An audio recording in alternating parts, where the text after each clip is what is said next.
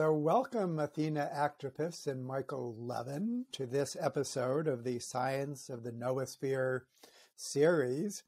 Uh, this series is inspired by Pierre Teilhard de Chardin and his concept of the noosphere, which is like the thinking, the mental dimension of humanity, uh, which he said originated as tiny grains of thought with small scale uh, society and then was enlarging to uh, ultimately encompass the entire Earth as some kind of global consciousness. And the purpose of the series is to actually place this concept on a solid scientific foundation. And that maps onto a concept that you know well major evolutionary transitions and individuality. Um, so you might or might not know uh, much about Teilhard, but you know a lot about major transitions. And we'll be focusing on, on the single cell and multicellularity as, um, as uh, those particular transitions. Well, let's begin just by, uh, uh, first of all, having you introduce yourself as people, how you wandered into this kind of work, and, um, and how you encountered the work of Teilhard, if at all. So, Athena, why don't you begin, and then we'll pass to Michael.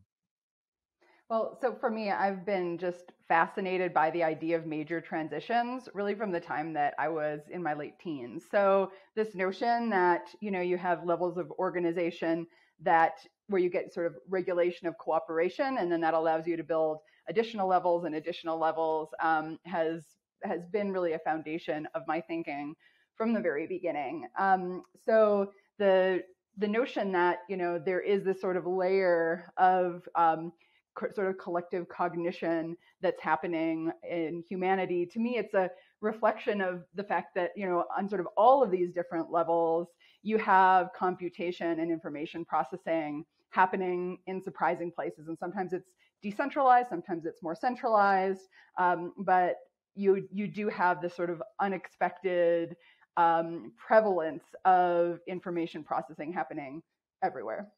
Yeah, totally. Michael, how about you? Yeah, um, well, I guess uh, all of my work uh, probably uh, stems from two uh, kind of foundational um, experiences that I had as a kid. And one of those was uh, looking inside the back of a TV set. This is like one of those giant old school TV sets with the vacuum tubes. And uh, thinking about the process that led to somebody knowing how to put all those things in there at just the right, you know, in just the right configuration to have something interesting happen. And conversely, uh, playing with bugs and insects outdoors and and asking the basically the same question, right? Is the you know now you've got a different type of uh, of creature that probably has some sort of internal perspective and, and goals and, and preferences and so on. And just asking these uh, really fundamental questions about what it means to have some sort of a body that is made up of parts, but nevertheless has a kind of a centralized, um, you know, is, is, is the subject of, of, of, collective memories and preferences and, and goals and so on. Um, yeah, and so so my background is originally computer science. I got a degree, uh, an undergrad degree in computer science, trying to uh, work in in artificial intelligence, and then uh, did biology, uh, hoping to really understand the decisions that cellular collectives make as a kind of um, you know morphogenetic process, view, viewing morphogenesis as, a, as the behavior of a collective intelligence. Michael, while while you were staring at the back of the TV screen, I was staring at the front of the TV screen. When I was like four, I was absolutely like most people, like most people yeah, well, there were two things I was obsessed with. The first one was that movie um, Annie because it was like just the best musical, amazing choreography, and the other was the Nova special about morphogenesis. I would watch that over and over and over again, and I think like that's really like where my fascination with like emergence and multicellularity really started was just like watching that over and over and I was like asking my parents like how does it do that. And you know they sort of like gave me like vague answers well like chemical gradients and gene expression. And i was like but how? How does it know to do that? So so yeah definitely spent many many hours when, when i was four watching that over and over and over. So one memorable thing that Teilhard said was that uh, although in some respects uh, uh, we're just another ape species, a little different than other apes, in other respects, we're a new evolutionary process, cultural evolution, and that makes the origin of our species as significant in its own way as the origin of life. And to take that seriously, requires actually knowing a lot about the origin of life and biological levels of organization in order to compare human levels of organization. And when we get to the single cell, many people have thought that that's relatively simple, that the history of life has been one of increasing complexification. And I think that uh, one of the, um, where your work stands out is in demonstrating that no, no, I mean, the complexity of a single cell and the first multicellular organisms is absolutely amazing. So, life itself, in its first forms, has an extraordinary form of, of, of complexity, including a form of mentality, a form of mentality, and even a form of group level mentality. So, a lot that's associated with the noosphere in humans eh, uh, can be understood at the very initial stages of life. And so I've stated this um, uh, very crudely. You guys are the experts. And Michael, why don't you begin just kind of elaborating on on that theme, the complexity of the single cell, and then Athena um, uh, uh, take over. So, Michael. Yeah. So so maybe I'll just uh, sketch a little bit how I tend to think about these things. So one thing that uh, I'm interested in is uh, trying to come up with a framework that is able to handle in a, um, in a in a very practical way in terms of empirically driving research and so on truly diverse intelligences and so so i'm interested in what is the invariant between all intelligent things no matter what their um, embodiment is no matter what their provenance is evolved designed exobiological artificial whatever and so in doing that, um, and this is this is a, framework I've called TAME, T A M E, for technological approach to mind everywhere. Um, what what I take to be central about intelligence is problem solving in some particular space, and in particular, uh, this idea that that we recognize agents or selves or individuals, and we can compare them, no matter what they're made of or how they got here, by the scale of goals that they can pursue. So, so to me, the fundamental uh, building block of all of this is some sort of goal directedness and it can be as humble as a homeostatic loop keeping a metabolic state which you know even even bacteria can do or it can be very large scale things and so the spatiotemporal scale of the goals that you are capable of pursuing right and, and so maybe very small in case of a microbe you know local concentration of sugar or something or it could be very large in the case of, of humans and we could talk about the transition to the very special transition to humans in terms of uh, the goals that they can uh, pursue uh, is is is what to me is is central. And so when you look at it that way, uh, in fact, we we see evolution as a, pr- uh, a process that can scale.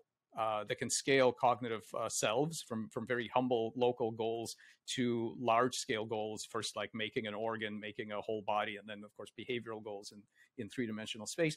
And we see a very smooth process of um, of scaling these goals throughout um, throughout evolution. And so I see bodies as um, these these overlapping nested communities of selves with local goals in various spaces. So in physiological space and transcriptional space and metabolic space of course anatomical morphospace. So to me morphogenesis like developmental uh, morphogenesis regeneration those kinds of things are the process of the collective intelligence of cells um, operating in morphospace in anatomical morphospace. So I think, yeah, I think I think uh, intelligence de- defined operationally in that way goes all the way back to the beginning, and what we see is it's scaling uh, through through evolution. Michael, I'm curious, you know, just listening to you talk about this idea of like the sort of nested goals, I can't help but think about you know human groups and the the challenges of sort of getting lots of people on the same page with goals um, or even if people have the same goals getting them all pointed in the right direction at the same time almost like you know thinking of like a organ trying to develop right? It's like it's not enough for them to all have the same you know dna everything everyone has to be in the same expression state or in the right expression state right in order to accomplish a shared goal. So so like when you think about humans having goals together, do these same principles apply, or are there things that sort of change when you go to the level of, of thinking about humans? Yeah, yeah, very interesting question. So, so I think I think looking for scale-free principles that might carry over from from subcellular networks through cells to human societies, um, collectives, you know, ants and, and bees and, and these kinds of things is is very important. I think that I mean I, am I'm in no way an expert on you know societies and, and and you know kind of human activities, um, but uh, I think we can see something very interesting happen in, in the cellular case. And I think the cellular case is very instructive for how this scaling happens. And I think, I think actually, I'm really looking forward to talking to you about the cancer aspects of this because I think it's actually very um, foundational there. What will happen is, um, and this is, this is what we've observed, is that you have um, individual cells which are themselves competent in their local spaces. So they solve transcriptional problems, physiological problems, basically homeostatic units. They're trying to keep certain things in, in parameter their evolution discovered a really interesting uh, thing fairly early on, which is which which we call a gap junction. This is a um, an electrical synapse, and the thing that's magical about these gap junctions is that uh, unlike if, if you imagine traditional signaling, extracellular, you know, secreted, I secrete some sort of chemical and it goes over and hits this other cell. When you have two cells, one signaling to the other, because these signals come from the outside, the recipient cell knows very clearly that these generated that these originated from the outside. So it can ignore them, it can do something about them, it can remember them, whatever. When two cells couple to each other with these gap junctions, what happens is that these signals propagate to some extent directly into the intercellular milieu from one cell to another. And what happens then is because these signals don't have any kind of metadata on them that says where did they come from, they they the ownership information is wiped so that when you have two cells that are tightly coupled by gap junctions, one cell, let's say, gets injured or has some new experience, it generates a calcium spike that uh, appears in the other cell. That second cell cannot tell whether this is its own memory or some other memory of some other creature. Basically, this connection, by, by wiping ownership information, that kind of connection creates an almost mind meld where you can't tell where your memories end and some other memories begin. And when this happens in a large network, you end up you end up making these electrical networks that can that have the computational capacity to measure, remember, and uh, and store goal states that are huge, ones that a single cell couldn't possibly, um, of, you know. We're talking bacteria here, just to let everyone know. So, uh, I mean, you've uh, some of what I've written, uh, I've read of yours, uh, Michael, talks about biofilms, basically bacterial biofilms as as superorganisms. So, you know, among the superorganisms, we all know about the eusocial insects, but now we have these microbial uh, uh, biofilms, which which really do qualify as superorganisms, complete with the analog of nervous systems. So, talk to us about about um, that, just to nail down this idea that that that um, of, of the, the, complexity of before we even get to nucleated cells of uh, bacterial uh, biofilms. Tell us some stories about that. There's some uh, some beautiful work from from um, UCSD looking at uh, electrical signaling in bacterial biofilms as very brain-like, and I think that's been. And this isn't our work, and this is. Uh, I think because evolution discovered very early on that electrical networks are a great way to, uh, to, to scale and propagate and coordinate information, to store memories. They're just very convenient. It's no accident that the nervous system uses them, that we use them for um, computer technology. But but you know, in in in the body, what happens is that these these networks are now capable of storing um, much larger uh, types of um, goal state information and and the individuality of the of, of the of the components is is wiped to and and you know sort of erased to an important extent because now these you have memories you have goals and um, activities that are property of the collective that individual the individuals couldn't do and so just to get back to athena's comment about the the, the humanity i think one you know from the perspective of uh, coordinating morphogenesis and avoiding cancer, these kinds of these kinds of gap junctional connections are really critical. And one might be tempted to say, look, the way to scale goals and make sure that everybody's on the same goal is to sort of um, mind meld us all into this uh, into this larger scale network where where all of this can take place. But I, I, think we have to be very careful about that because you know when was the last time you were you were too concerned about what happened to your individual skin cells? Right, we shed them all the time. We don't really worry about it. You know, you might go rock climbing or something and tear a bunch of skin off your hands and you feel good because hey, I went rock climbing. The individual cells may not be happy about that at all, and so there's there's presumably there's some sort of optimal uh, linkage mechanisms to be found that allow us to reap the benefits of, of a larger um, collective IQ while at the same time um, holding on to uh, the, the, the, the um, respect for the, for the goals and the needs of the, you know, the individual pieces that go in there. We'll, we'll return to that later on, but, but uh, Athena, back to you. Oh yeah, just you know, hearing you talk about the gap junctions, it it just sounds it sounds just like you know you've got someone under your skin or like you care, you have a lot of empathy, and so you can't help but you know feel the feelings when you see someone else feeling them, right? And um, it's fascinating to then think about you know well you, we do have sort of different problems that we have to solve as human groups and different constraints, right? If you know we're not all genetically homogeneous, there's possibilities for cheating that have to be regulated in a much tighter way than you have in a multicellular body. So, so anyway, David, I'll, I'll stop because I know you want to, you know, bring the conversation back around to the stuff later. But I think it's a really, it's a really rich um, area to kind of explore some of the the similarities at these different scales. Yeah, totally. And and we don't have to wait. I mean, large scale society has a lot of the same characters, especially the, the, the concept of the invisible hand is is that individuals can kind of be operating locally, maximizing their local utilities, and somehow it works out for the benefit of the common good. And the individual does not have to have the common good in mind. What would that be but like a liver cell operating according to its local um, environment, but nevertheless the whole thing coordinated so that the common good um, is is benefit.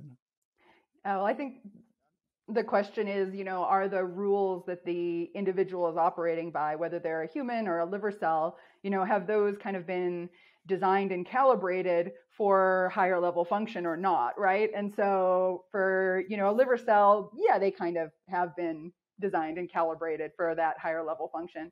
But in the case of humans, there's a there's conflicting goals. You know, there's some that are for higher level function, and then there's others that are for more individual level. And so, sort of negotiating that, I think, is uh, one of the big challenges of you know applying some of these principles from you know multicellularity and regulation of multicellular bodies to large scale human systems. Yeah, totally. Just to, to go ahead, Marco. Well, I, I, was just going to say, I, th- I, think this is this is a really interesting question about um, being calibrated to to specific goals because uh, one of the things that we've been working on, and, and, of course other people had as well in the past, is um, the the the diversity of things that uh, that the, of behaviors that can be executed by cells with exactly the same genome. And so in in you know, right and and the plasticity with which uh, cells of any given genome can solve problems in novel environments that they haven't seen before. And so one of my favorite recent examples is this um, is this thing we've been doing that we call xenobots which is uh, these are these are novel proto-organisms that never existed on Earth before. That basically what we do is we take skin cells off of a frog embryo, and uh, we we we don't add anything. We don't edit the genome. We don't add any um, novel transgenes or or um, nanomaterials or anything like that. But we we take away something. We take away the other cells that are normally uh, instructing and constraining these cells to, to have this boring sort of two-dimensional life on the surface of the of the animal. We we put them in the new environment and we let them uh, reboot their multicellularity. We let them, we, we ask them in, in effect, what, what, in the absence of these other cues, what, you know, what do you want to do? What is your default behavior? And we find out that actually they self-organize. There's many things they could have done, but in fact, they self-organize into this novel uh, shape with novel behaviors, novel, um, novel uh, capabilities, with uh, with with uh, self-directed behavior. In fact, that um, raises some really interesting questions about what did evolution actually do when it developed the frog genome? Because being an excellent frog is one thing it did, but that's not the only thing it did. In some way, the, the, the exact same hardware in a novel environment is able to now um, follow different uh, different kinds of goals, including figure out a novel way to reproduce itself. They reproduce by kinematic replication instead of the normal sort of froggy reproduction way, which we've made impossible. Um, and so I, I, think there are some really profound uh, gaps in our understanding of what are things actually you know sort of optimized for right? Because there's there's a tremendous amount of, of freedom and creativity when you release some of these constraints. You find out that there's actually you know this agential material that evolution has to work with these cells that if you do nothing they're going to do things on their own. You you know all, the best you're going to do is is sort of um, guide them to to to various adaptive uh, outcomes I, I, think that's a very interesting set of questions. Michael, do you ever yeah. feel like a mad scientist sitting there? You're like, I wonder what these cells will do if I take them out of the frog and put them in constantly, the new constantly. environment. That, yeah, that's my, my that's my preferred state Yeah. of mind. Yeah, absolutely. Well, didn't you get uh, an eye to develop within the gut of a tadpole or something like that? I think that uh, That's that, that's uh, exactly that's exactly right, and and and we should talk about that. Yeah, we've been um, we've been playing with uh, understanding the uh, the the the sort of cognitive medium that holds the that holds the the the uh, patterns to which this, these collective intelligences build, and not, not terribly surprising, it's bioelectrical. It's like a non-neural version of neuroscience, basically. And in certain cases, we've learned to read and write that electrical information, and so we can we can sort of overwrite the native pattern memories that these things have and then you can go to a different set group of cells in the frog that are otherwise going to make gut and you can say to them you should really be making an eye.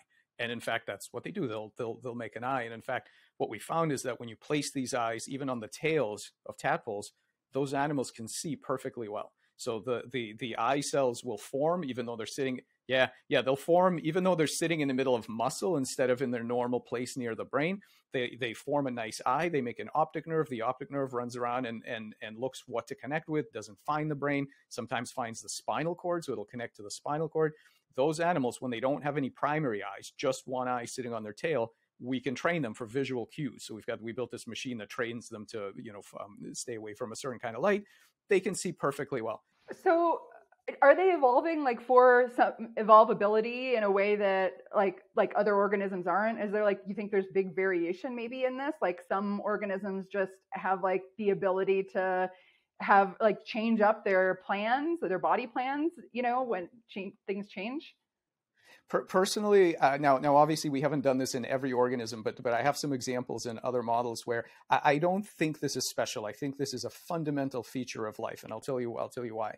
Uh, the the amazing thing about that kind of um, and, and I call this whole this whole business multi scale competency because what it means that that evolution can do as a process is rely on the various subcomponents to get their job done even when circumstances change. So what it means is that if if we're using an architecture where it's not nothing is hard, really hard well except for you know, metabolic things but but things aren't really hardwired every what you're doing is you're you've got modules that are going to try to get their goals done meaning homeostatically they're going to try to achieve their um, their objectives their agendas uh, as, as Dan Dennett calls it uh, despite the fact that their circumstances change. This really potentiates evolution. It smooths the fitness landscape because it means that if you've got some mutation that moves the eye to the wrong location, but it does something good somewhere else in the embryo, you don't have to wait until you find that uh, you know you you you you you find that second mutation without disturbing the eye. It's fine. The eye will do its job. In the tadpole, we show that craniofacial organs, if you start them off in the wrong position, we call them Picasso tadpoles, they will still move around in these novel paths and give you a perfectly good frog during metamorphosis. It doesn't matter that they're uh, out of kilter early on. And so this means that, that evolution can really explore all kinds of things without immediately uh, incurring the penalty of just wrecking the whole thing. The, the, minute you move something, just everything is wrecked. So when you look at this in all kinds of species, right? I mean, human embryos, you can cut them in half and you get two perfectly normal monozygotic twins because it's incredibly plastic. Half the embryo realizes that the other half is missing, regenerates what's re- what's what's needed, and and you know you're good to go. There's tons of these beautiful examples of plasticity and problem solving of, of this kind of um, competency. I, I, think it's everywhere. I think it's what makes evolution, um, you know, um, workable, basically. One of the threads then that goes between your and my work is this idea of beautiful monsters. So you know, I, I thought about it in terms of like uh, the crested cacti that, you know, they have like this cancer like form. They're like beautiful in the, you know, patterning that results. And um, I mean, your version is maybe a little more mad sciency, but. Um, su- super interesting point because, uh, for, you know, what, the, understanding what a monster is and understanding what a birth defect is, right? I mean, chem- chemistry doesn't make mistakes, but bi- but biology, if you're going to say it's a mistake, it's or, or an error or developmental defect in some way, it's with reference to a, an expectation that was supposed to happen. And one of the interesting things that we see now is that these these sort of um, uh, attractors in morphospace, these different ways of forming um, um, uh, bodies, you can, you know, we can take a planarian flatworm and you, and, and you cut off the head. They, of course, regrow the head. Normally, 100% of the time, they regrow a head of the correct species. What we can do is perturb the electrical conversations between cells that help them remember what head shape they're supposed to make. And as a result, they will stochastically make heads that belong to other species of planaria. So there you have a complete mismatch between the, the genetics is unaltered. You've still got the same wild type genome, but the cells will land in a different attractor in morphospace. They'll make a head with a brain shape with a stem cell distribution, looking like um, planaria that are 150 million years distant, right? And so from from the exact same genome. And so this idea of of, of, of what a monster is. And we can make um, tadpoles that have zebrafish like tails and the faces looking like other frogs and so on. And so this is, yeah, this is all, you know, speciation versus, versus developmental defect. I, I think you're, you're exactly right. It's very interesting. So basically, you know, the raw material that evolution is working with is, is much more agental than most people uh, uh, think. These lower level units are organized into modules within other modules, and they're coordinated so that um, so that um, and that results in this just tremendous diversity that you could, if you know the mechanisms, then you could create these these monsters. So this provides a good way for us to introduce. So there's that. That's kind of like on the variation part of a variation selection replication uh, process. And we can all along we've been talking about the importance of levels of selection. That this this amazing diversity that arises um, has to pass the survival test, basically the survival and reproduction test. And so the selection at the level of the individual organism is now winnowing these. That's what distinguishes a, mon- um, a monster from anything else is whether it can survive or, or reproduce. And so higher level selection is, is then operating on this amazing diversity that, that arises in this like coordinated fashion because of these agents basically in these homeostatic units and and all of that. And, and right away, we could map that onto uh, back onto um, uh, humans and the idea that uh, that um, individuals are, you know, like these lower level units. They're tremendously generative. They're doing all of these things, but that's going to result in the social manifestation, which might work well or poorly. And unless you have selection at that level, basically, then you'll get monsters. You'll get as opposed to um, um, uh, social organizations that actually function well in the context of their environment.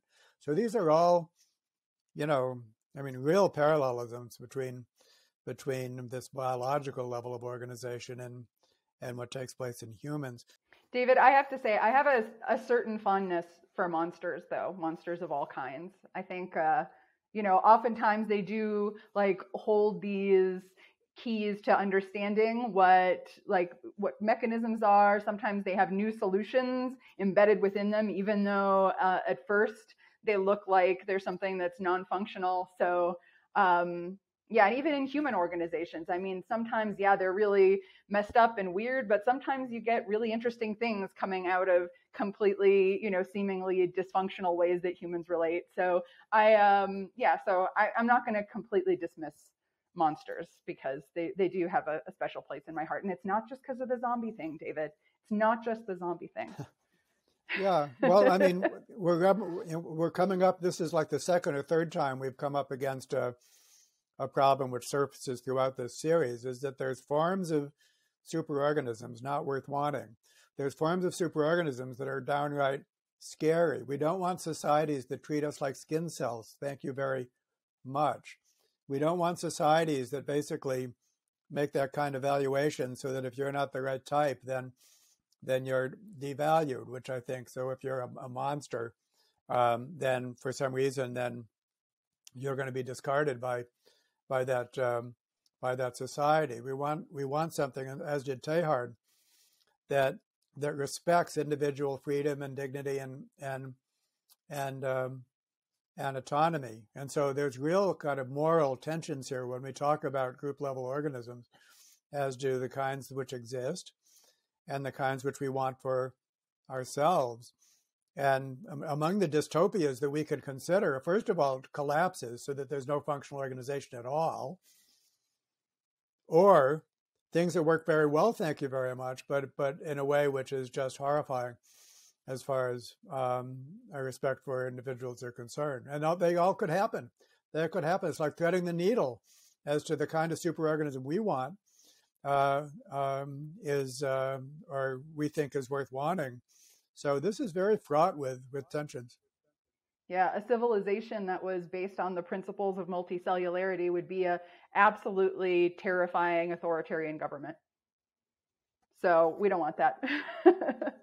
Interesting to see how this maybe translates back into cellular interactions as we find our way towards uh, discussing multicellularity and and um, uh, and such things as um, uh, cancers. Is that there's a reason why human society needs to be egalitarian.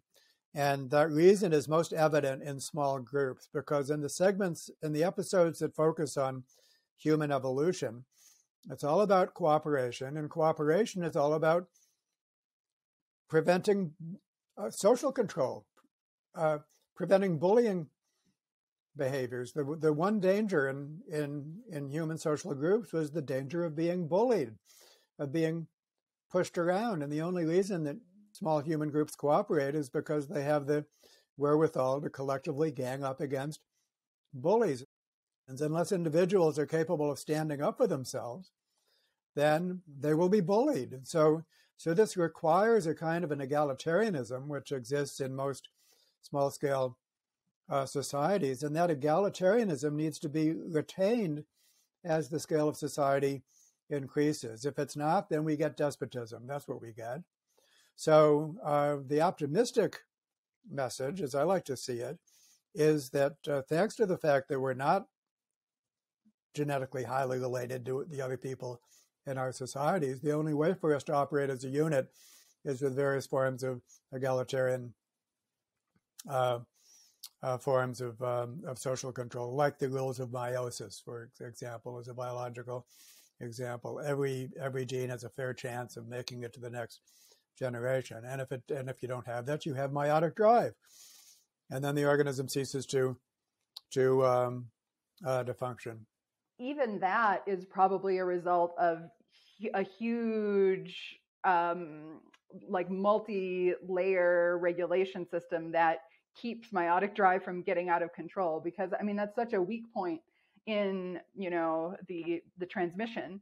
So so yeah i mean i think that there's you know there are many there are many phenomena in biology where it's kind of just been assumed that like oh this problem is solved but really underlying that are all of these layers multiple layers and checks and balances of regulation that that can break. And that also if we don't you know appreciate that it works because we have those layers of regulation then we kind of you know we're we just assume that uh, you know the problem of cooperation is solved just by virtue of like genetic relatedness which i think is like a, a problem that is um, or that assumption is is quite widespread in the evolution and behavior community. Almost like oh you're, you're genetically identical so there's not a problem it's like well no there's still you know you could still have all these issues of cheating and exploitation unless there was selection that acted to create these regulatory mechanisms on this higher levels. And the whole vocabulary of human social control has been transported. We have parliaments of genes,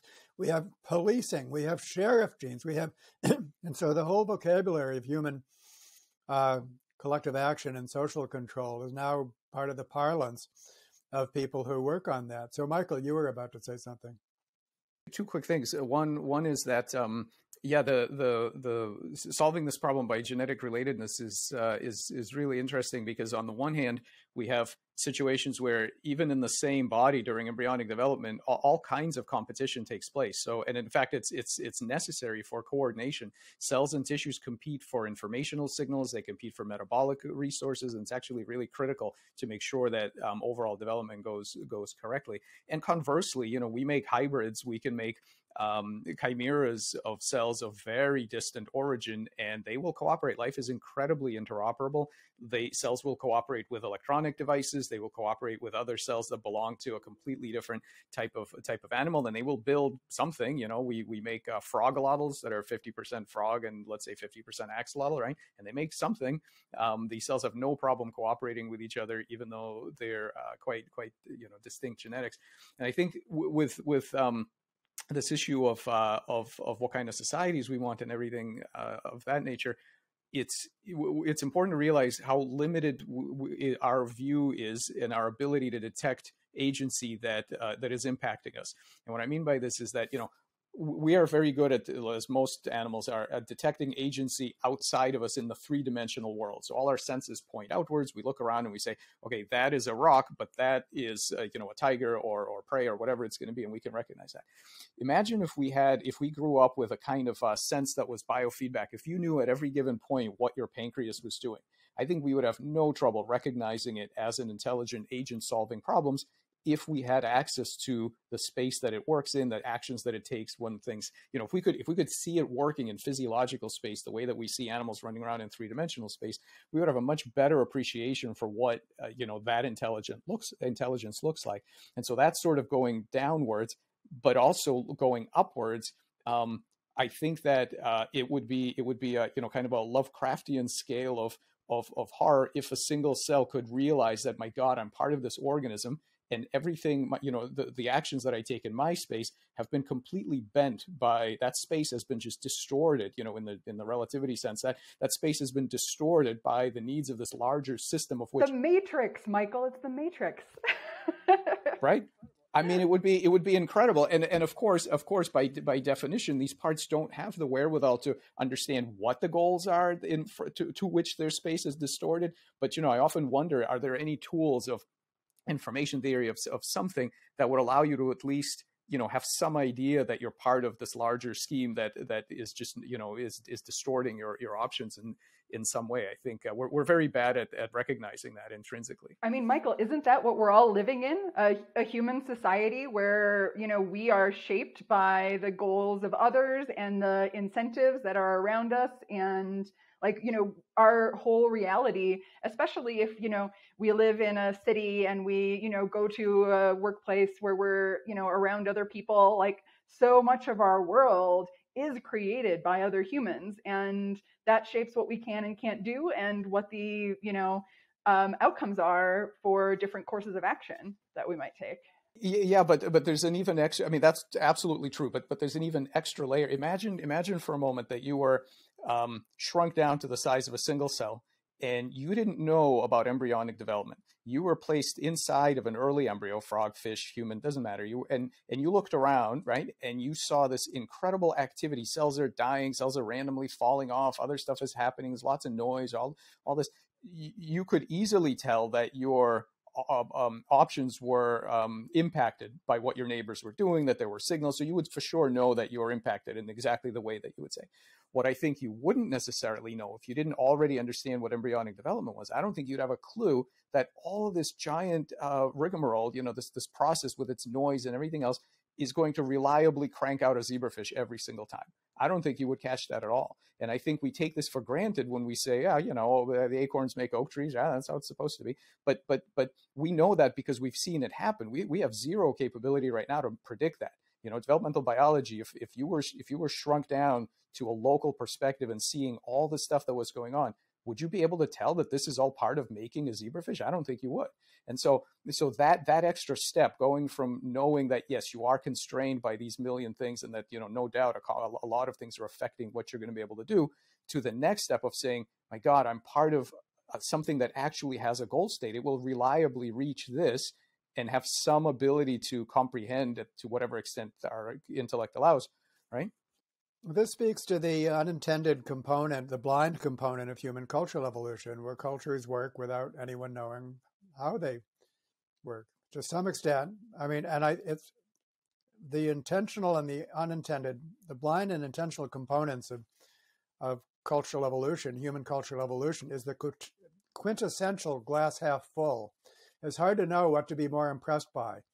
The blind component, which leads to design that nobody that nobody designed, or the intentional component where people actually set around, set about with their social arrangements and succeeded to a degree at, at, at accomplishing what they intended to build. I mean, there's there's excellent examples of both, but um, to focus on the blind component, then it results in exactly what you're saying, Michael. We're all participants in something that actually does result in order to a degree, and we're completely unaware of it because we didn't design it. It's just what survived and what what hung, what hung together compared to the many things that fall apart. So, and then it's up to us as scientists to uh, to understand that, just the way with any other thing where instrumentation and and, and theorizing is required to to uh, to apprehend what we what we had no idea of and had no way of knowing, couldn't possibly have known if we didn't actually apprehend it scientifically. So, so uh, you know, before we can barrel on, um, um, I want to go back to the symbiotic cell theory, which has been covered in other um, episodes. But the idea that the uh, the nucleated cells, eukaryotic cells, evolved as symbiotic communities of bacterial cells, um, thus documented for mitochondria and chloroplasts. Uh, but there's also a question as to whether any other aspects of of um, eukaryotic cell structure, such as flagella or or other organelles, also have um, separate origins. And um, uh, I don't know uh, either one of you if you're if you have opinions on that, but just dwell a little bit on on uh, the symbiotic cell theory associated with Lynn Margulis as we're talking at the cellular level. Well, I think that the evidence is quite convincing. And to, me, one of the really fascinating pieces of it is this idea that um, almost, you know, because you built a eukaryotic cell out of these two elements that um, where there was some level of conflict. You know, I mean, there's kind of still is, like you could see in the way the genomes are, you know, interact with each other, that there's some level of conflict. That you actually had a, a very efficient mechanism for cell death.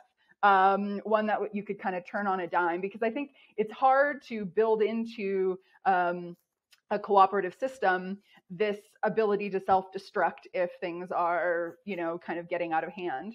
But by actually introducing um, you know genes where there was sort of conflict um, i think that might have actually been a really important piece of allowing for um, this cell death program you know the apoptosis program to um, to be built in at this you know most fundamental level. Um, so then you could actually build much larger bodies because you kind of have um, this like quick switch like a kill switch for cells that are um, misbehaving. Um, and i think it might have otherwise actually been too sort of challenging to get into um, that kind of space evolutionarily where you where you'd have a, a really solid sort of kill switch built into each cell. You have to like get something else in there that, you know, previously evolved to try to kill the cell, put it in there under regulatory control. And then um, I think that might have actually allowed for much larger and more complex organization than was possible before. I think one of the the um, upcoming um, fields that's going to have a lot of interesting things to say about that is uh, this the, is is is bioengineering and chimerism because we are now putting things into cells that have never been there before and so on. And both at the cell and tissue level, people make um, cyborgs and hybrids and all these different kinds of mixes of of, uh, of, of cellular material and, and subcellular material and designed, uh, engineered artifacts and so on.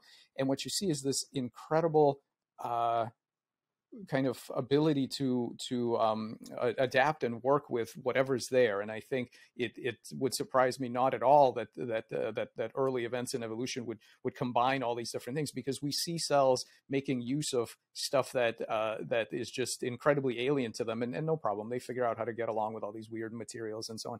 And so there's this there's this huge uh, area of of uh, synthetic biology and bioengineering where we're giving cells novel metabolic capabilities, novel signaling capabilities, novel computational capabilities, biomechanical capabilities, uh, and uh, and all of this is is highly interoperable. And so that that plasticity of, of, being able to work with whatever you've encountered, if you can make some sort of use out of it, I think uh, you know I wouldn't be surprised at all. Let's uh, make cancer center stage here. Um, and uh, why is cancer a fundamental problem with multicellular uh, organisms. Uh, Athena, why don't you go first, and then uh, and then um, and then Michael. Sure. Yeah. So cancer is a problem because multicellularity is fundamentally a cooperative system of cells. So you know, in order to make this transition from unicellular life or sort of you know aggregates of cells that were just sort of operating together um, to like a truly multicellular structure and method of reproducing there had to be some mechanisms in there that kept um, cells from replicating and monopolizing the resources um, in a way that would limit the ability of that organism to function. You know, just like a cooperative group can be totally taken down by one exploiter. Um, same thing with a group of cells. If there's one cell in there that's replicating out of control or monopolizing all the resources and you know creating waste products, like that can make it not viable to have a cellular group. So the evolution of multicellularity itself would not have really been possible without checks and balances um, on you know these potential ways that cells might cheat. You know, I, I mentioned replicating too much, um, monopolizing resources, creating lots of waste products, um, sort of not participating in the um, creation and maintenance of the ex- the extracellular environment. That's actually a, a really important piece as well. Um, and uh, apoptosis also so this controlled cell death you know when the cell is um, if it's infected or if it's mutated or if just developmentally um, it makes sense for those cells to fall away. Um, if if there isn't a mechanism for apoptosis that's reliable and that's kind of you know going back to the earlier part of the conversation about like how important that that it is to have a really, really fail-proof apoptosis mechanism. Um, you know, those are those are just necessary pieces to have um, multicellular function. And so, really, built into multicellularity is this vulnerability to cancer, but also all of these regulatory mechanisms that help to suppress it. Yeah, just I wanted to emphasize one thing you said. On the one hand, we have cheating, and on the other hand, we have just the coordination that's required to build an organism, even if uh, everyone is willing.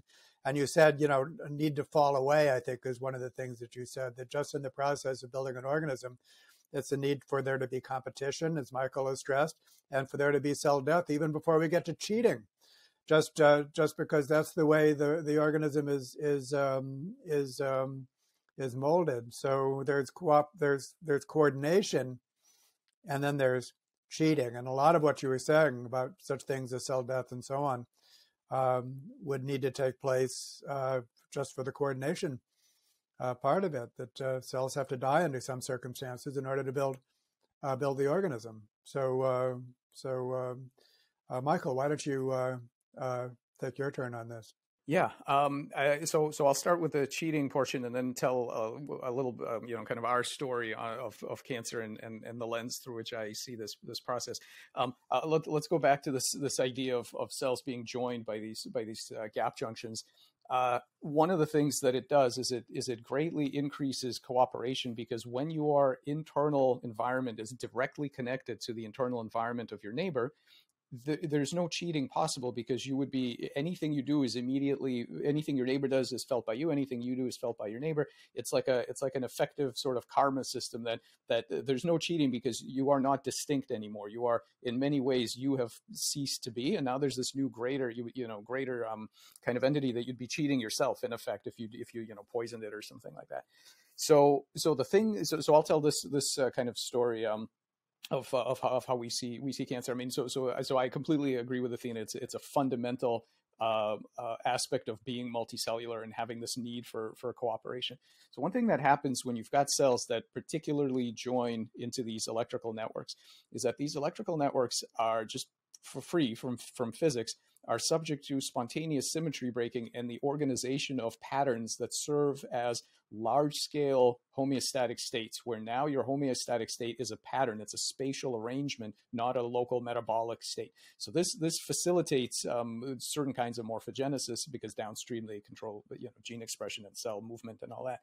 But um, one of the one of the things that happens is that is that they start working on so so if you if you in your in your mind and, and we've you know we sort, we sort of have some tools for doing this if you visualize the scale of the self that is formed here you start out with a single cell and you say okay the scale in, in terms of a spatio-temporal um, cognitive uh, radius, you know, this this this kind of um, light cone that that limits what you can work towards. You know, there's some metabolic goals, and you have a little bit of memory going back, a little bit of predictive capacity going forward. Once you're this network and you have this this much larger um, kinds of the, these larger goals that you can work on. We're going to make a liver, or we're going to make a heart, or, or, or whatever, because that's what this this uh, network is able to uh, is able to do. Uh, what happens is that that that the that boundary of the self scales, so that what happens it, it, it goes up so that now everybody's sort of cooperating on to, on this uh, on this on this one one project and when that process is screwed up and of course one of the first uh, one of the first steps of, of conversion, you know, when, when, when you start to convert to cancer, one of the first things that happens is gap junctions close, right? Your gap junctions close, you lose electrical connectivity. As soon as you've lost electrical connectivity, your, uh, your, that boundary between self and, and outside environment shrinks because now that cell, as far as it's concerned, everything it sees around itself, that's just the external environment as far as it's concerned, right? It can go back to being an amoeba because now it's now it's it's now uh, I, the, the boundary between me and everybody else is very tiny. So I would say that these cells are not any more selfish than anything else. It's just their selves have shrunk. Everybody's selfish is just before yourself was kind of huge and everybody was working towards it. Now yourself is tiny and now you're back to your goals from from those ancient days where what are my goals? right? Each amoeba you know wants to be two amoebas and you want to go where life is good and sort of you got conversion and metastasis. And so just to just to say that we've we've tested this and so one thing you can do is you can kickstart uh, uh, basically full on for example full on metastatic melanoma in a tadpole no carcinogens, no DNA damage, no oncogenes, just by disrupting the electrical state of certain set of cells. And they just, these, these cell, cell melanocytes completely convert and they go crazy and take over um, the animal. You can go in the opposite direction and you can put in really nasty oncogenes like human KRAS mutations that make tumors in these animals. And if you at the same time very carefully manage the electrical state using optogenetics or injected channels, right, you will prevent tumorigenesis despite the fact that the that the mutation is still there. The oncogene is blazingly expressed. There can be no tumor because you've you force those cells into their electrical connection.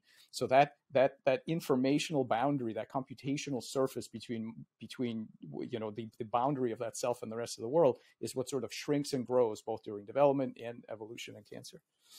Cannot help but notice the similarity with social the fragmentation of social identities in modern life. Athena, over to you. Yeah. Okay. So I'm just like super excited listening to you talk about this, Michael, because it really implies that there's a whole other level of health that people don't think about. You know, they talk about physical health and mental health and emotional health, but how about like informational computational health? Right? Like having your the cells of your body um, having proper electrical signaling, being in the right expression state.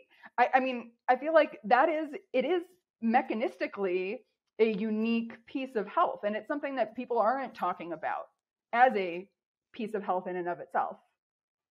What you just described, Michael, is so evocative of, of a, a situation where how people behave depends on their social identities.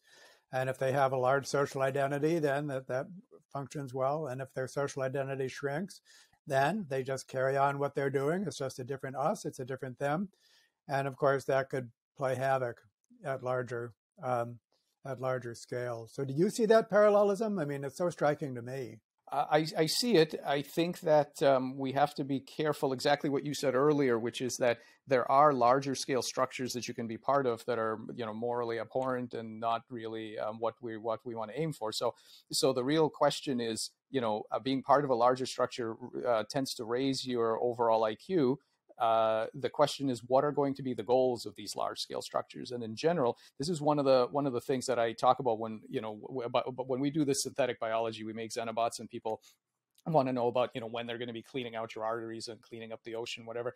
That's fine. There will be like specific um, um, applications. But the bigger issue to me the much bigger issue is to get started working on a science which we don't yet have of figuring out where the goals of collective systems come from and how do we manage them. Because we're not good at seeing them uh, you know in advance. We're going to be surrounded by swarm robotics and the internet of things and all these structures and including current social structures that have that literally have their own goals that they're going to be trying to implement we don't know what those are. We don't know how to envision them. We don't know how to predict them and we don't know how to manage them.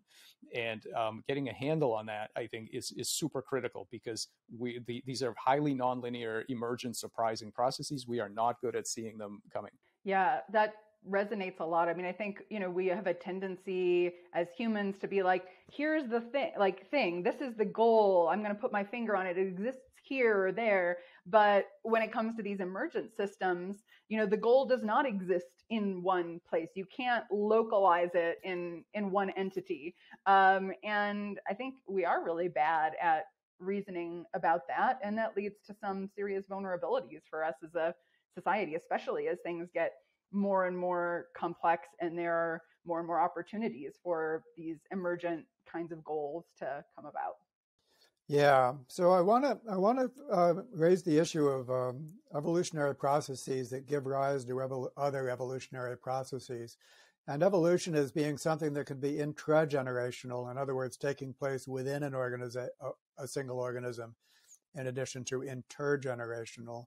We have some well-known examples. So the adaptive component of the immune system is the best-known example, the rapid evolution of antibodies. Um, I do a lot of work thinking of our behavioral system as a intragenerational process, what B.F. Skinner calls selection by consequences. But there's more, and I think the more mechanistic you get, then the more Darwinian processes, intragenerational Darwinian processes uh, exist.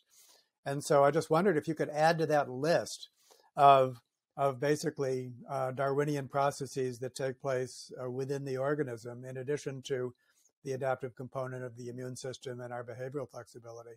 Cancer is the one that comes to mind. You know, you have cells that are evolving, you know, within the body to, um, you know, they sort of develop their own fitness function, you could say. That's one that's unregulated. So that's an unregulated um, intergenerational, yeah.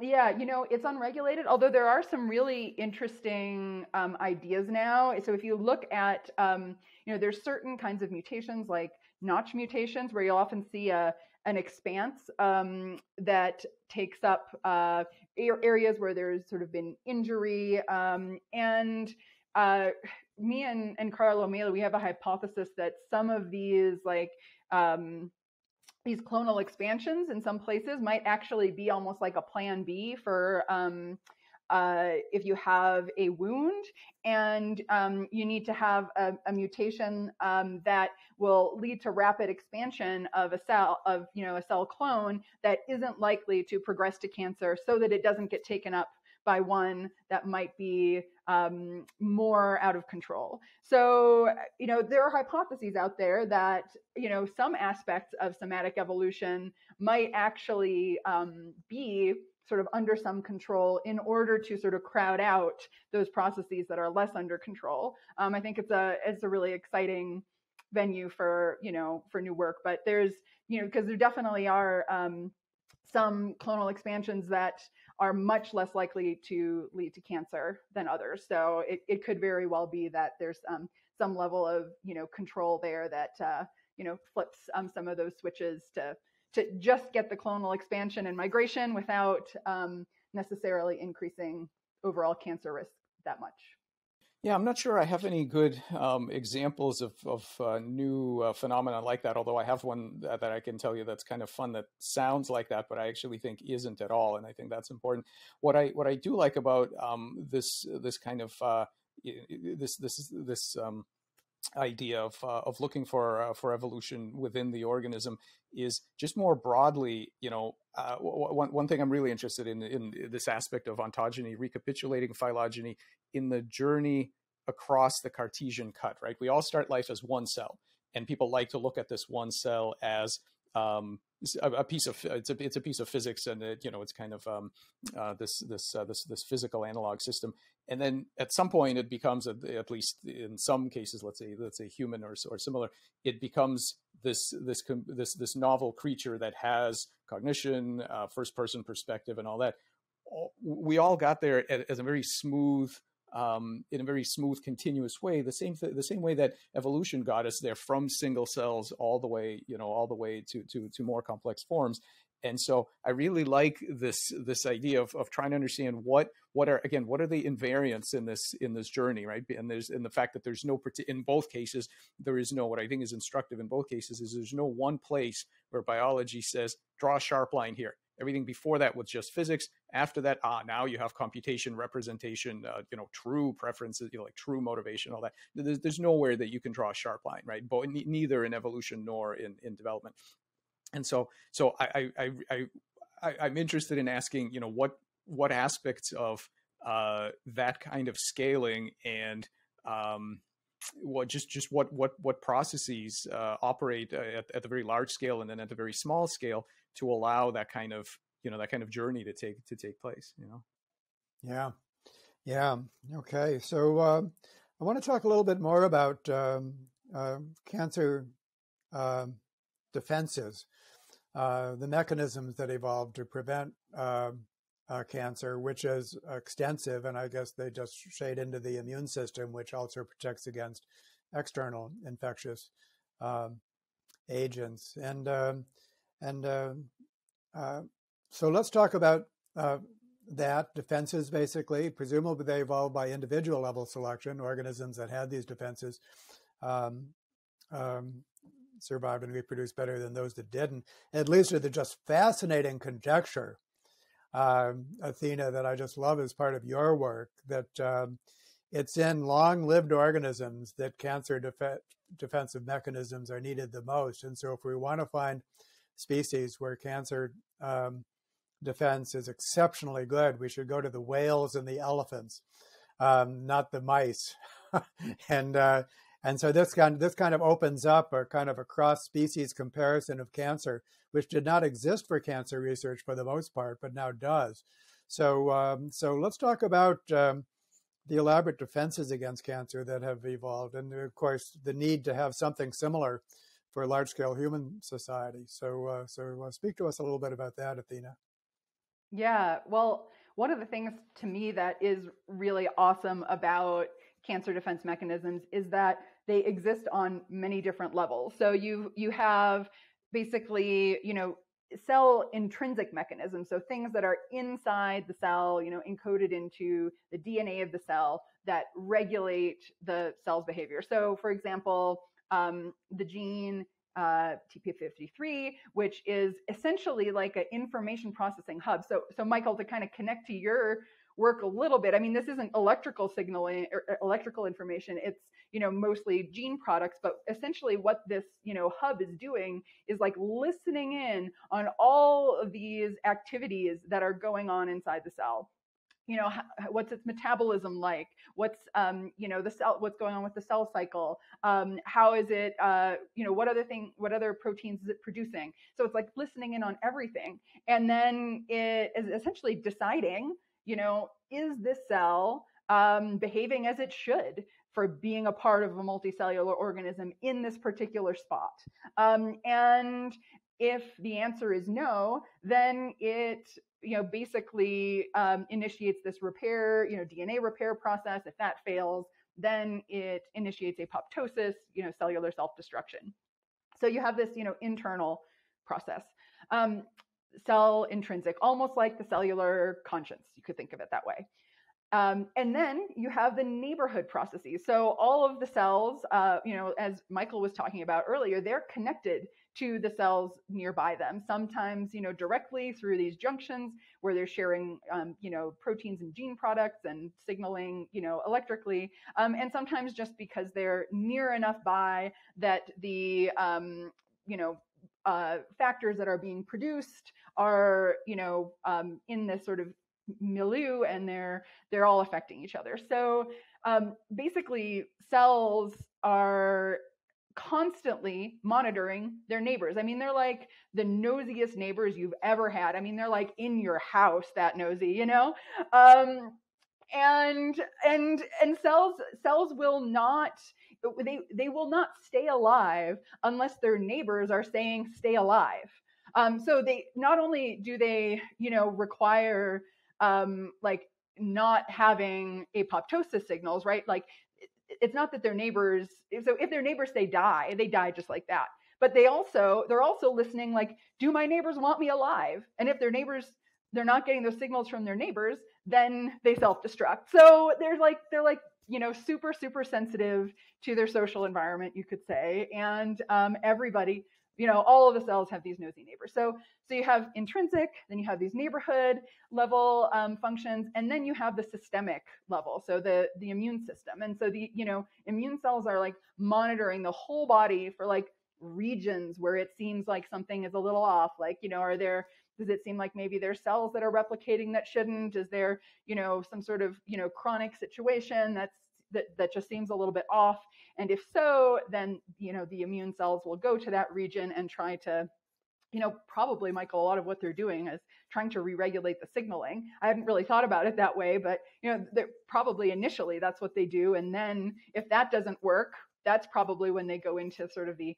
apoptosis mode. Um, but yeah, I wonder if people have looked for that actually, like looked at the immune system as, uh, you know, information, electrical signal regulating system in its first pass, because that would be way less costly than all the cellular destruction that we usually associate with what the immune system is doing. Yeah, there there is there is some work on that on macrophages and things uh, things of that nature. Um, yeah, this is this is great. I love I love the the, the story you just told. And uh, uh, but the only thing I can add to that is uh, my my favorite cancer suppression uh, story, which is that apparently one of the best ways to suppress cancer is to have a really strong idea of what you should be doing instead, a really strong morphogenetic uh, cascade. And uh, there there was it's it's it's really interesting. If you have a view which is which was may probably still is, but but it's I think it's kind of crumbling. This this view of cancer as um, very sort of local, uh, you know, um, uh, checkpoint genes and and suppression mechanisms and so on you would predict that animals that have a very large that have access to a very large pool of undifferentiated plastic cells basically regenerators that they should have very um, they should be very prone to cancer. And in fact it's been said that the reason that, that let's say humans are, are poor regenerators is in order to avoid the kind of uh, oncogenic risk that you would get from having cells that are just happy to proliferate and you know and migrate and things like that. So that would be the prediction right? And and uh, on the other hand, if you had this idea that cancer is an escape from a, a strong morphogenetic memory of the network, you would say that no, actually, um, you would you would predict that good regenerators should have very low incidences of cancer. So that's nice because it's a case where these two theories make opposite predictions, and that's been checked. And regenerators, good regenerators, in fact, have very very low incidences of cancer. Having having lots of plastic proliferative cells is no problem if you have the information structure that harnesses them towards a, an adaptive outcome. And so my favorite example of that is planaria. So these planarian flatworms, there's a couple of things about them. They are incredibly regenerative, so you can cut them into pieces. The record, I think, is like 275 pieces, something like that. And Thomas Hunt Morgan in, you know, 1903 or, or something, uh, cut them into, you know, a couple of hundred pieces, and every piece knows exactly what a correct worm looks like. Um, they, they regenerate with, with incredible fidelity. They make the worm okay. They don't, they don't get cancer. Uh, now, uh, the the the other is, so so they've now now a couple of things. A, they've solved the aging problem. So there's no such thing as an old planarian. They don't age, and so they are basically immortal. And so the worms that I have in my lab are in direct physical continuity with worms that were here almost half a billion years ago. Like these are them. Now, what they do do in in in order to proliferate, um, many of them can do sexual reproduction, but they usually don't. What they do is they tear themselves in half and then each half regrows the other half, and now you've got two worms. Okay. Now think about what this means from the perspective of um, uh, inheritance. They they have uh, they they basically don't have a Weismann's barrier because any mutation in the body in the somatic uh, they, they, have somatic inheritance. Any mutation that doesn't kill a stem cell is inherited and replicated throughout the body once they divide, and that cell has to make more progeny to fill in the rest of the body, right? So now, for several hundred million years, They've been accumulating all these mutations. Their genomes are an incredible mess. We don't even have a proper assembly in, in Japonica because the cells are mixoploid. Every cell has a different number of chromosomes. You don't even know what you're sequencing because because every cell is just mass, right? Yeah, massive genomic diversity. They are champion regenerators. Their anatomy is rock solid every single time, exactly correct. Now think about what this means for our claim to understand what, what the relationship between genomes and anatomy is. We, we don't have a clue here really because, because the genome is basically shot to hell. It's all over the place. Every cell has a different genome. If you were to say, you know, how, how genetically related they are, I mean, I don't even know how you estimate that because they have all kinds of uh, mosaicism within a single animal and yet their anatomy is the is the strongest of any other species, best controlled. So to me to me you know this this tells us something very important that that having genomic uh, differences genomic errors that's not really primary. If you really want to defend against cancer you should have the same type of large scale um, instructive pattern memories in, in, in, you know stored uh, biochemically bioelectrically biomechanically whatever it's going to be uh, really uh, strong so that any cell that has uh, even even you know even an inkling of trying to do something different is overcome with this connection, with this functional connection to a collective that's trying to maintain organs, tissues, and and so on. So that's that's my favorite suppression story.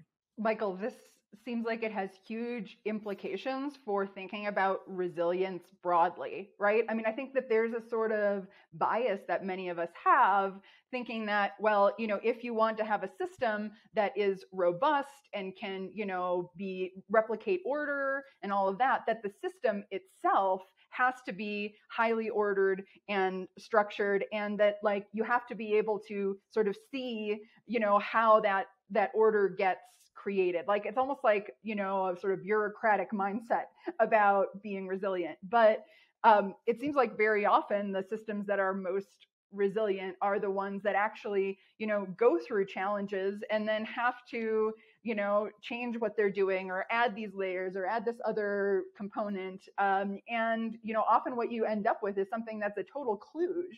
Um, but that might be much better at being resilient than something that, you know, looks like it has a structure that you could be like, oh, I see how that would do this and this and this, and that would lead to, you know, what the expected outcome is. Yeah, yeah, for sure.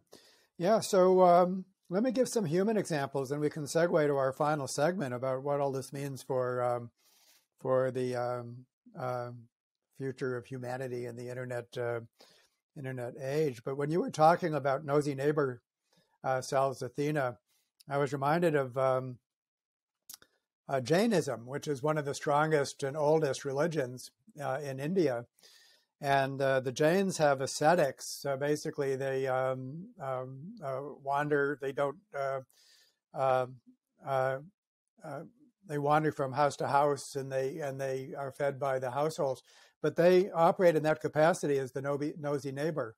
Uh, their food restrictions are so great that they can't accept food unless it's unless it's pure from their standpoints, and so they'll inspect the entire household before they'll accept a morsel of food and um, and they also uh, sharply question the occupants of the house and so on to see that they're good, upstanding Jains.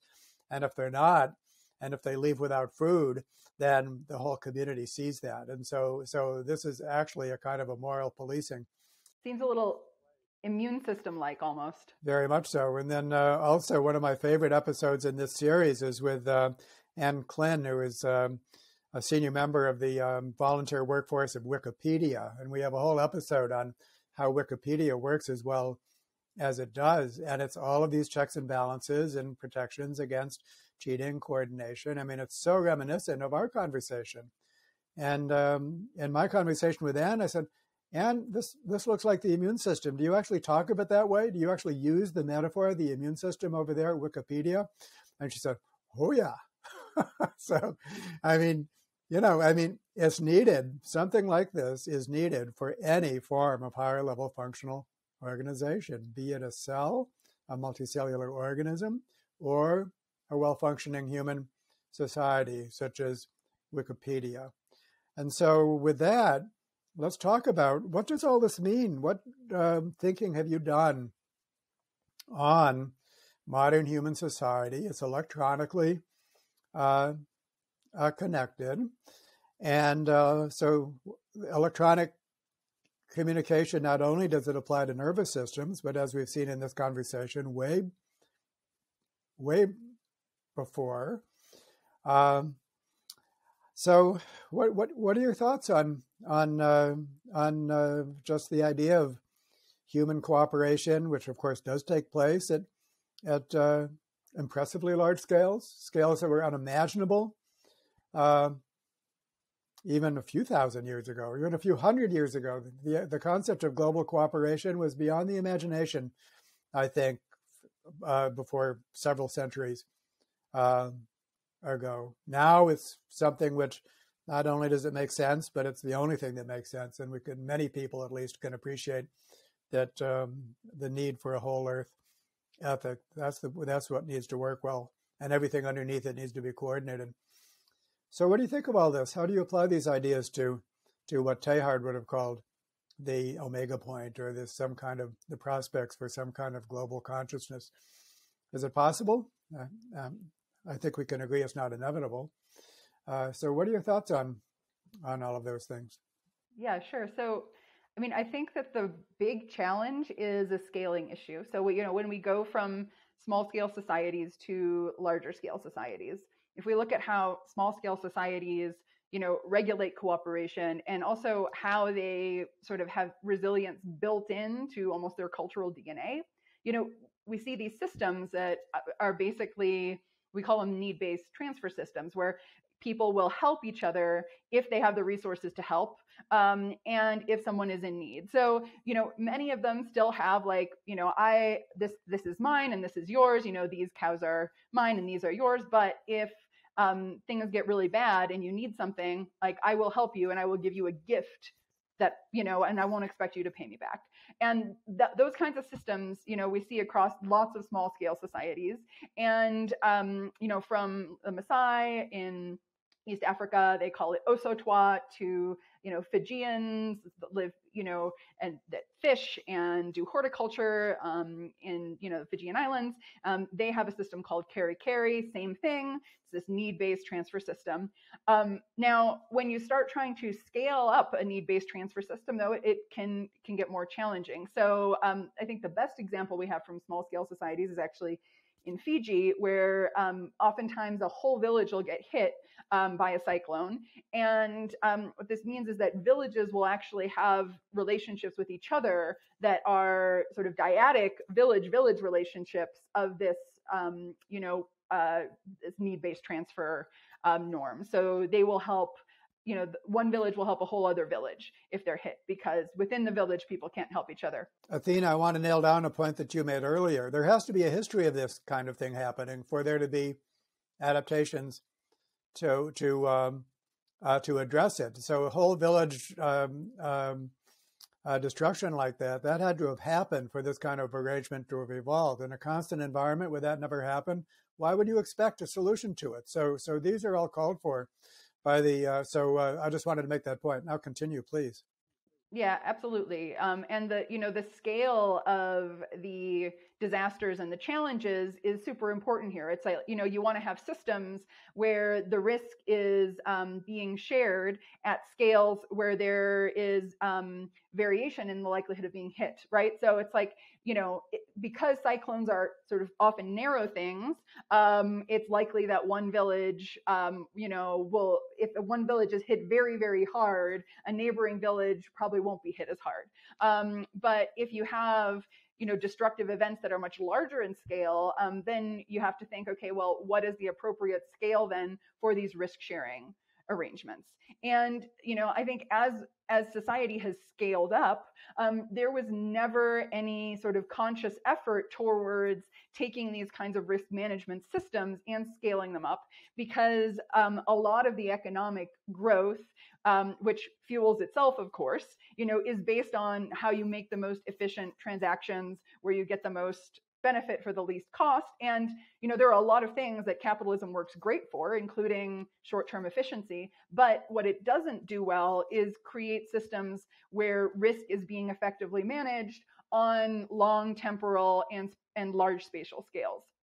So I see this as sort of the critical issue for us, um, you know, as a society today. How do we grapple with the risk that we're facing locally, regionally, you know, and uh, uh, you know on larger on larger scales, and then create the kinds of risk sharing systems that have served our species so well for so long, um, and translate that into something that makes sense for our global society. And, and I have a feeling it'll probably be some hybrid, you know, between um, need-based transfer type principles and more account-keeping based principles, just because account-keeping principles are so pervasive and they work for a lot of the things that you know we need to happen in our society.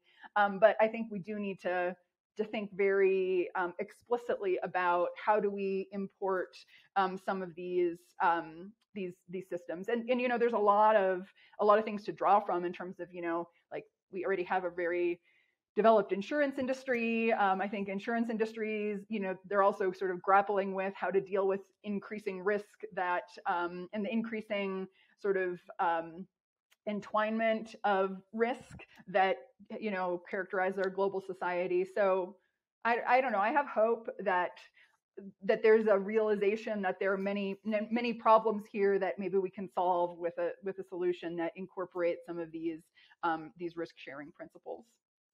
That's great, Athena. Thank you, Michael. Your turn, and then I'll take my turn.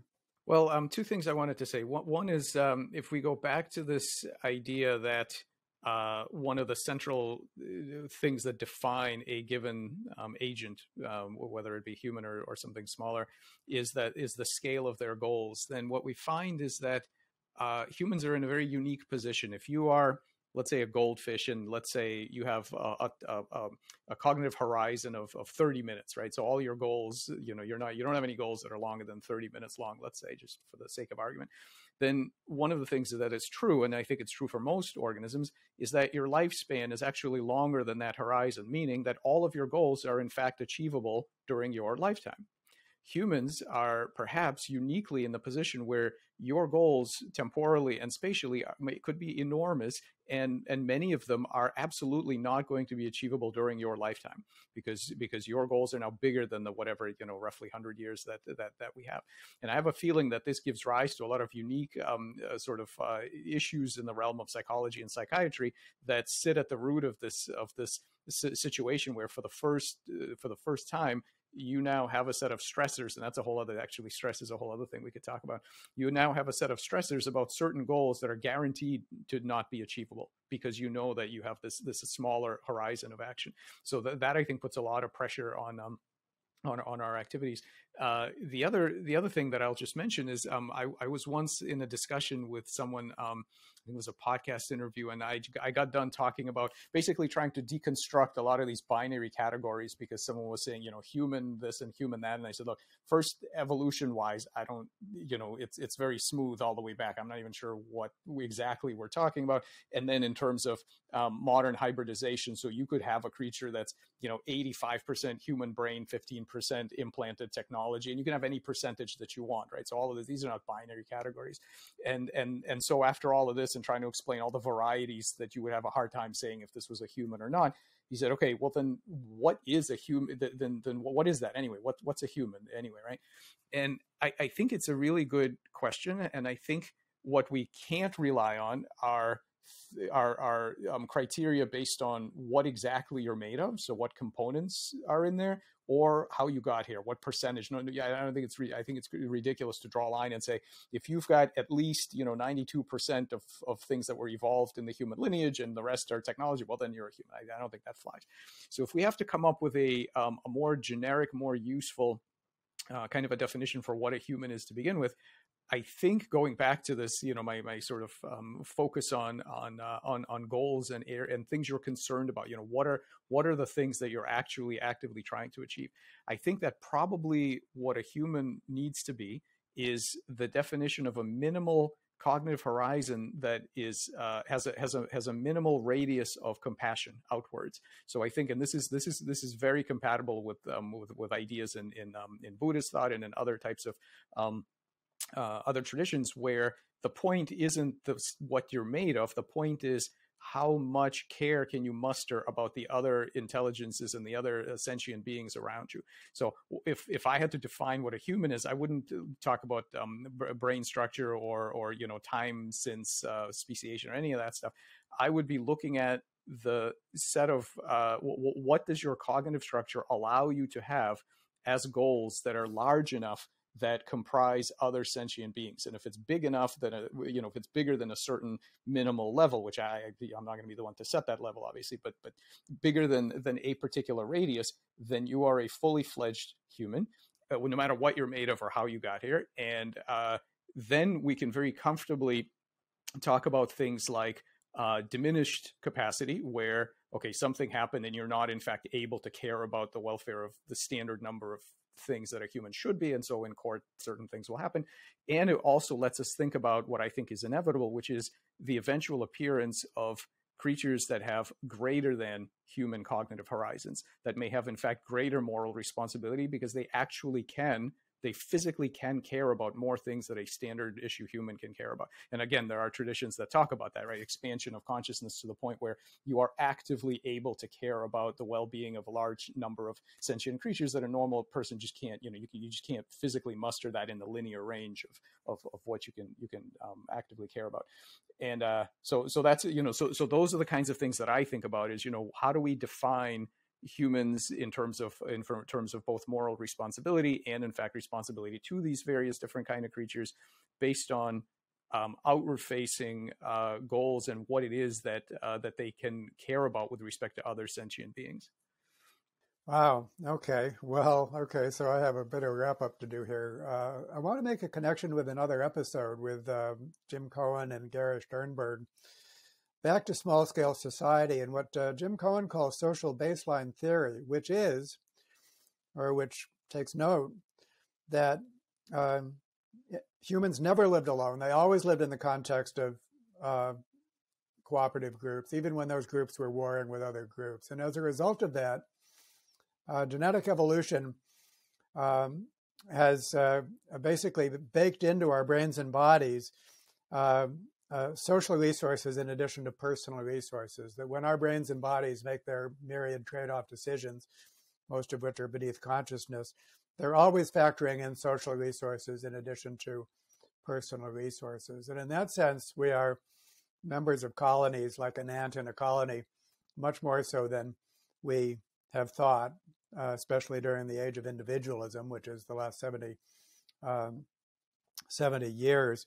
So, um, so uh, there's a really interesting connection there. And then another point I want to make, a major point, is that there's two very different mindsets for thinking about being part of something larger than oneself. One has a very negative valence, like we're all in the matrix, or we're all going to be skin cells, or we're all members of totalitarian regimes. And but then there's a mindset with a highly positive valence, which is basically the religious and spiritual mindset of being part of something larger than ourselves and wanting to be part of something larger than ourselves. And um, and it's at that point that you're more joyful, basically, in becoming part of this. This ex- describes so many people's wartime experiences where you're so bonded to your fighting unit that you'll living, uh, willingly die uh, uh, for it. Where you can take a long-term goal that's longer than your lifetime. We're equipped to do that. It happens all the time. So um, I think, isn't it interesting? And of course, it all boils down to whether the individual perceives this that being part of something larger than themselves as, as benign or not for themselves. And and when they when they think it's benign, then it's something that they willingly do, and it's it's probably the optimal human experience is to be is to be part of something larger than yourself. And at a more mundane level, I think I'm speaking of it in high spiritual terms. Back to my interview with Anne Klin on, on Wikipedia. Why is that so engaging for the you know the hundreds and thousands of people that that just love working on a volunteer basis for Wikipedia? Well, it's because it's a pro-social cause. Wikipedia is doing, you know, such wonderful work if you join it. And you get to interact with like-minded people. It's just so very, so very fulfilling. They love becoming part of something larger than themselves, and they'll spend all of their discretionary time doing it. So there is this positive face. Athena, you want to chip in on this? Yeah, I want to just emphasize that point. You know, I think that we have a deep desire to contribute, um, to be a part of something. And, you know, many um, years ago, right, I, I, worked on this idea of the walkaway strategy. Like, you know, you're you're in a group and you leave if there isn't sufficient cooperation. Well, I think there's another piece that's very similar um, in terms of the mechanism, but it's it's kind of the opposite. Like you will leave a group if you feel like you don't have an opportunity to contribute or if your con- contribution isn't valued. And I think that is a really deep desire that we as humans have is to be a part of something where we are contributing to make it better, um, at least for most humans. And um, that I think is kind of you know often not really acknowledged as a you know deep and legitimate human drive but i i think it's there and wikipedia is such a great example of that and I think that um, that when it comes to the the scale of our social identities, kind of the scale of our compassion, which Michael, you were talking about, there's such flexibility there because so many of our groups are socially constructed, almost all of them, then the identity is that flexible. We could regard ourselves as as citizens of our nations or our religions or our small groups. Why not the whole earth? In fact, there's no no more stretch of the imagination to consider ourselves first and foremost human beings and citizens of the world then first and foremost Democrats or or Republicans. They're all social uh, social constructions. But then comes, of course, to what actually we do on that basis and how those things compete with other forms of behavior. At the end of the day, it comes down to a form of cultural selection, which needs to be itself culturally uh, uh, culturally uh, constructed. So for that half full glass with the blind component and the intentional component of cultural evolution needs to become more intentional than ever before and it needs to be experimental because we don't know what the consequences of our actions are. Really, all we can do is make informed guesses. Then we have to experiment again and again and again. And then we have to be mindful about what we're trying to accomplish and then selecting the things that get us in that direction. So it ends up being a essentially an intentional form of cultural evolution with the welfare of the whole system in mind and everything underneath that being appropriately coordinated. It's basically a managed process of cultural evolution at the global scale, is what is needed, and nothing less will do, is the way I frame it. So uh, please share your thoughts. You know, let's have a wrap up session. And then uh, this has been such a wonderful addition to our um, series on the science of the noosphere. Uh, Athena, you want to go first, and then Michael? Well, I think that you know this whole question of how, you know what what do we need to do in terms of sort of cultural infrastructure to help us be more resilient is really the the question um, and the problem of our generation. And you know, if we kind of just assume, well, you know, the tech billionaires will figure out how to solve it with, uh, you know, technology and money and um, you know becoming interplanetary or whatever then i think you know we kind of lost a lot of our autonomy to create the kinds of systems that we want that not only will help us be more resilient on a really large scale level, but also will help to sort of you know feed us as humans that need to be embedded in social environments where you know we do feel like um, we have a safety net.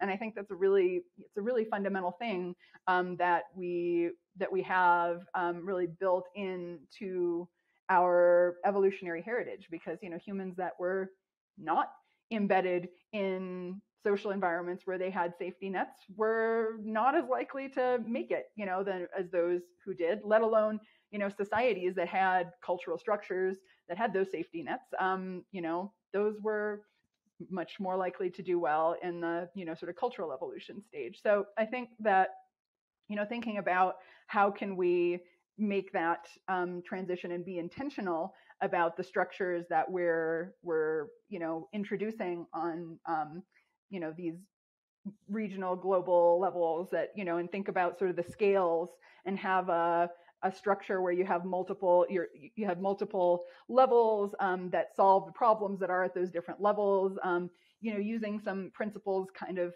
like you know some of these principles from ostrom and some of these principles from small scale societies that use need-based transfers, I think uh, could be really great. And I'd love to see a, a more sort of purposeful um, discussion about how do we implement or at least test out, you know, some of these strategies on a larger scale. Because you, you don't necessarily want to say, okay, here's the one solution. Now everybody just needs to do this right you want to like say okay here well we could try this out at a higher scale here um, you know with these partners and then see how it goes so so that's what I would like to see.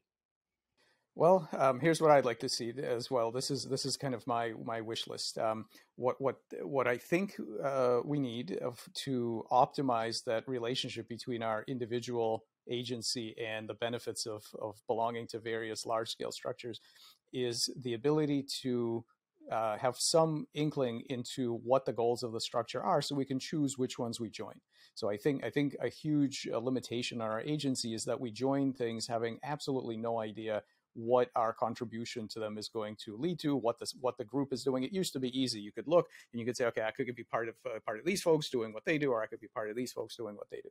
That that it is now almost impossible to know all of the choices that you make in terms of what you uh, consume online, what kind of products you interact with, what groups you you uh, hang around with.